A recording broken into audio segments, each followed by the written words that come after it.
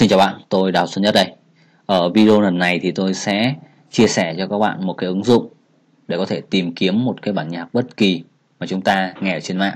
Tuy nhiên chúng ta lại không biết cái bài hát đấy hay là cái đoạn nhạc đấy tên là gì của tác giả nào.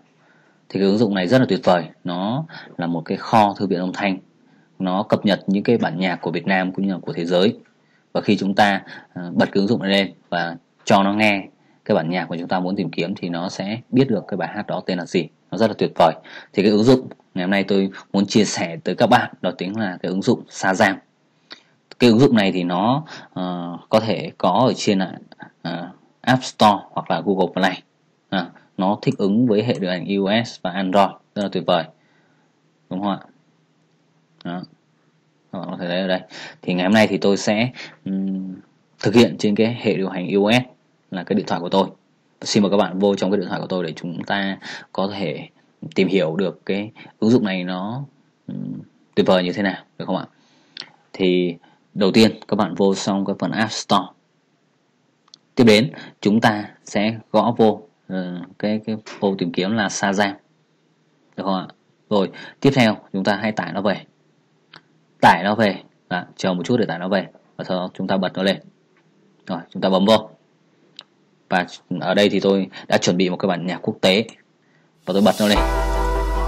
Và chúng ta bấm vào cái biểu tượng của sa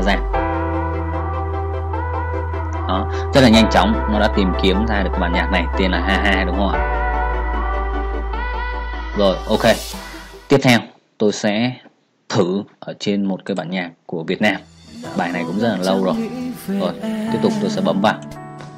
Cho anh tôi cô đơn trong lòng mà sao lại mơ nhiều hơn? Thấy bóng dáng em mỗi đêm về. Dạ vâng cũng rất là nhanh, nó tìm kiếm ra cái bản nhạc này tên là em luôn ở trong tâm trí anh của nhóm The men. Dạ vâng cái ứng dụng này là nó nó vô cùng tuyệt vời. Và các bạn có thể thực hiện ở trên hệ điều hành iOS hoặc là Android đều ok. Và ngày hôm nay thì tôi thực hiện trên hệ điều hành iOS trong cái điện thoại iPhone của tôi thì các bạn nào mà sử dụng những cái điện thoại thuộc dòng Android thì các bạn có thể thực hiện tương tự. Thì như vậy là tôi đã chia sẻ cho các bạn cái cách làm thế nào để có thể xác định chính xác cái tên bài hát cũng tên tác giả. Uhm, mà các bạn nghe bất kỳ một bản nhạc nào trên mạng mà các bạn yêu thích nó và muốn tìm kiếm nó thì cái ứng dụng này có thể giúp ích các bạn rất là lớn để các bạn có thể tìm kiếm các bản nhạc để có thể um, phục vụ cho cái mục đích khác nhau của của mình đó, có thể là làm video có thể là hát hay là vân vân và chúc các bạn thành công. Xin chào và hẹn gặp lại các bạn ở những video sau.